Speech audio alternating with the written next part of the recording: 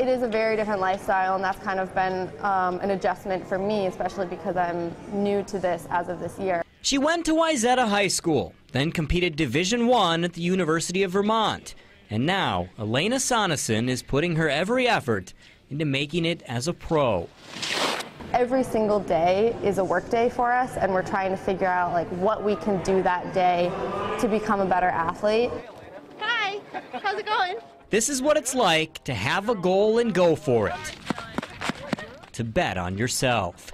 Like the races she skis, it's the kind of thing you have to look at with a long-term perspective. With the Olympics in four years being the goal, it's kind of how do I get there in four years and how do I develop over time. I feel like each day I've taken a step closer and closer to that. After graduating last spring, Sonnesyn joined a professional ski team based in Vermont, the same team as Olympic gold medalist and fellow Minnesota native Jessie Diggins. She's been so welcoming, and um, it's pretty great just to realize that someone, you know, Olympic gold medalist is just another human.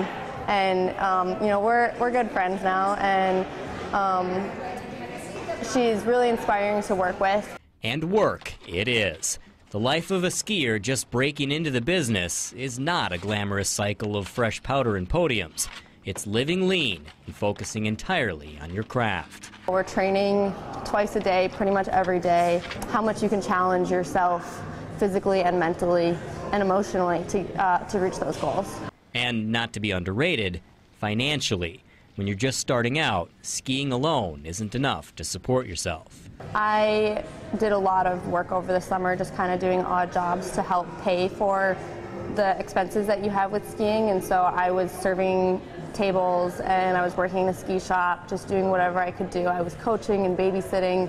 And honestly, I was kind of just scraping by. A fundraiser this fall in Minnesota made a huge difference. And that was pretty, um, I would say, humbling just to see like how many people wanted to see the success and um, how much support there is from Minnesota skiers. Allowing her to chase her dream and feel like the whole state's behind her.